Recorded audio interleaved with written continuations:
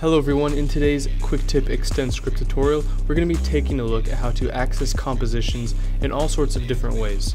So this is going to be including selecting just the composition as an active item, finding it as a layer, as a pre-composition, and some other methods as well. So let's just dive right into it and check out how we can do this. So the first way we can do it is to just grab the active item selected.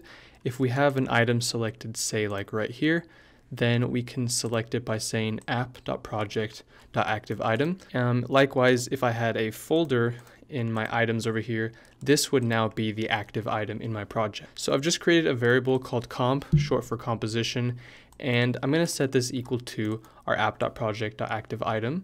Then before I run my script, I'm going to select my composition here, and then I'm just going to write a line that says our comp is called and then our variable comp.name, which should give us the name of our comp. So if I go ahead and run this, you can see we now get comp is called DJ intro, which in this case, our comp is indeed called the DJ intro. And just to prove that it's working, we can do something else like grab the width, and you can see this time it gives us 1280, and if we go in and check the width, sure enough, it's 1280. The next method we can use is to actually refer to items within our project.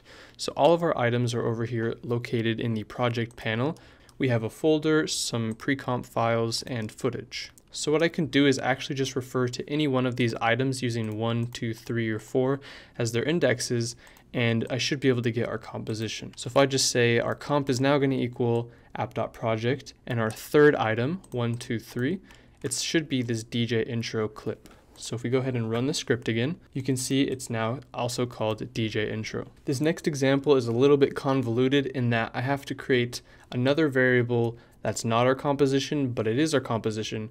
We're basically going into the composition and based on a layer, we can get the composition. So if someone just gave you a layer and said, what composition is this layer in? This function will tell you that, but otherwise it's not really useful. So I just have an item here which is referring to our DJ intro here, our composition itself. And, and then the first layer inside of it is this DJ footage right here. So our layer is going to be this DJ footage. We'll just double check that. Uh, layer.name. And you can see we're getting DJ footage. So our layer is indeed referring to this layer here. So now we have our layer. What can we do to get the actual comp it's in? Well, there's a function built in called containing comp. So we just have to take any layer and say dot containing comp, and this is going to go up a level and give us the comp we need. So now if we just go ahead and run it, you can see we still get our DJ intro for our comp variable. And for the very last example, how do you get the composition of a pre-comp? A pre-comp is obviously a layer and it's not referring to an item necessarily.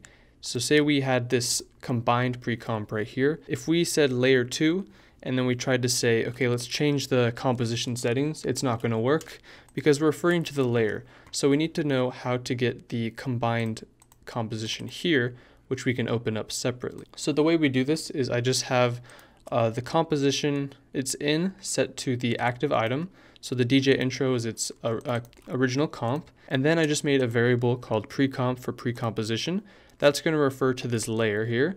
So we're going to say comp.layer2, the second layer of our composition. And then all we need to do, assuming we know it's a pre-composition, is just grab the source. And the source is going to refer to the item over here. Just to prove that this works, is first we're going to run it and it looks like it's called combined, which is accurate.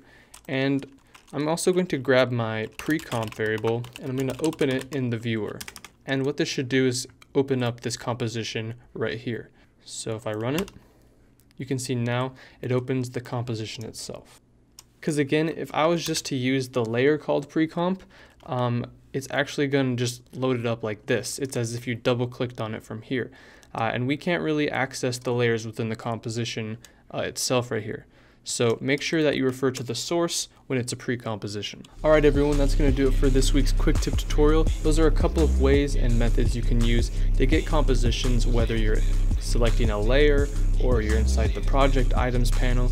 There are all sorts of ways you can get compositions. So thanks for watching and we'll see you guys next time.